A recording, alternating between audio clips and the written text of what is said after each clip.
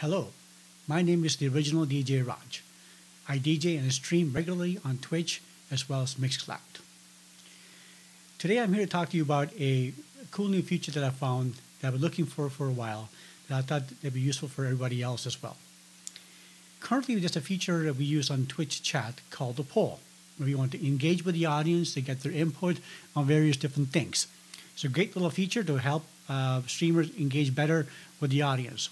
However, as a streamer, sometimes it's very easy for us to miss the poll when we have a, a, a moderator actually performing the role for us. And, you know, even the audience sometimes may miss the actual poll. So wouldn't it be great if the streamer and the audience could see that poll and overlay on the actual screen itself, not just a chat window, but also on the screen. I did some research and actually found a couple of solutions. I'm here to talk to you about one specific solution uh, from a system called TipeeeStream.com. Now, if you like this content, please hit the like button below and subscribe to my channel and hit the bell, notification bell, so each time I post new content, you will get an alert. Now let's get to it with the first with a demo.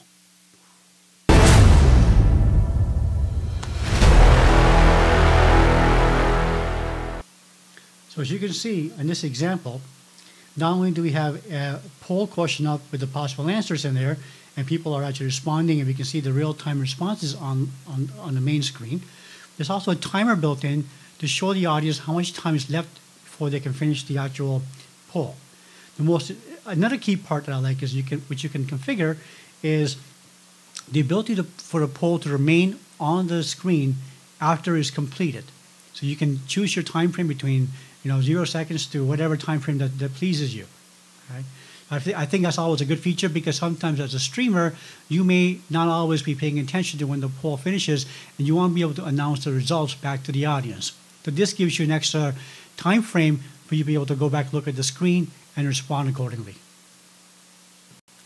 So now that we've seen a demo on how it works in real life, let's get to it and show you how to do this for yourself. So the main feature for this, or the overlay, comes from, comes from a system called TipeeeStream.com. And it's actually very easy to go there and start to activate this OBS uh, overlay. So let's go there. You log in with Twitch. It allows you to confirm if you want to log in. Okay, so already actually logged in here. As you can see, this is really meant more for a system to be used for tips and stuff like that and other kind of overlays, much like Stream Elements or Streamlabs and other systems out there. But what we're going to go is, where we look for something here on the left-hand side, a widget called under Others. You're going to look for what's called polls, Twitch polls. We click over here on Twitch polls on the right-hand side.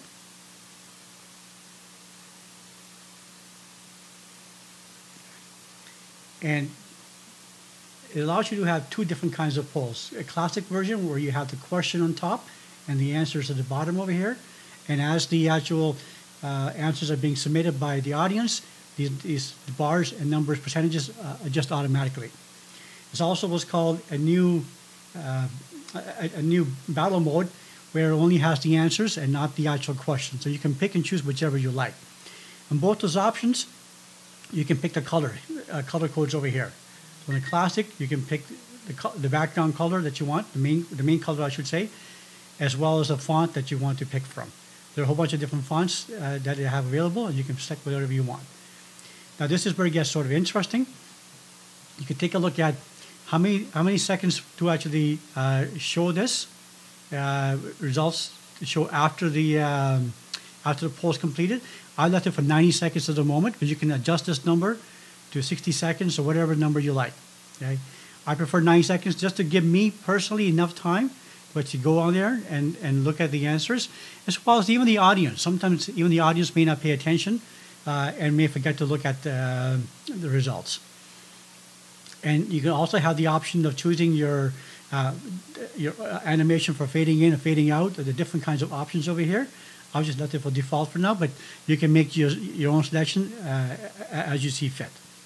Once you've done this, you basically click over here. What you're going to do is now you're going to uh, click on that. That's your URL, your browser source URL. Click and, and just copy that. So I just hit Control C on a, on a Windows or Apple C on, on a Mac. You, you copy that uh, URL and we're ready to go now into OBS. So now in OBS, in whatever scene that you want to actually add the pull overlay, you go to the scene. In this case, I'll just stick with the scene over here. Uh, we add a new browser source. So on sources, click the plus sign at the bottom and go to browser on top. And I'm just gonna, I already, I got one already created. I just add a new one here called full overlay two. And in the URL over here, we'll just remove that and paste the one that we just copied. And you can adjust the frames uh, as you see fit, the frame size, etc. I'll just leave it default for now because you'll see why. And click OK. And this is where it's going to appear over here on the, on the top hand. But now it's top side. I can move it around. Let's make it a little bit smaller. Okay. Just a little bit smaller. Now, in this version of OBS, I have also installed a plugin from Stream Elements called OBS Live, which lets me see the chat, uh, the Twitch chat right here within OBS. That's what you see on the right hand side. So I'm actually going to go and create a poll. Let's just test it out. So I'm just going to put in a, a, quick question. What is your favorite color?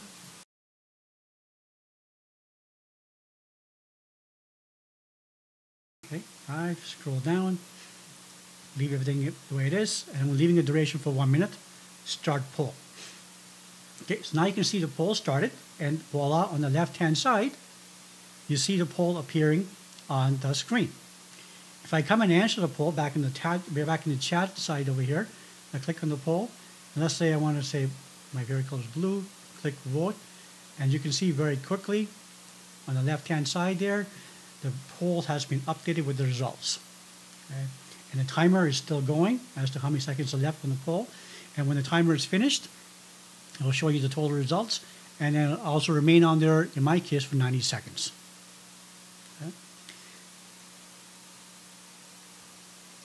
So I hope that you uh, found this tutorial useful. If you did, please click at the bottom, the like button, subscribe to my channel and hit the bell button so you're notified of new uh, content when I post it. But also, please leave me some comments at the bottom so I know uh, what you guys think about this tutorial. And if you have any questions, let me know, and I will do my best to answer them. And until next time, this is Original DJ Raj signing off.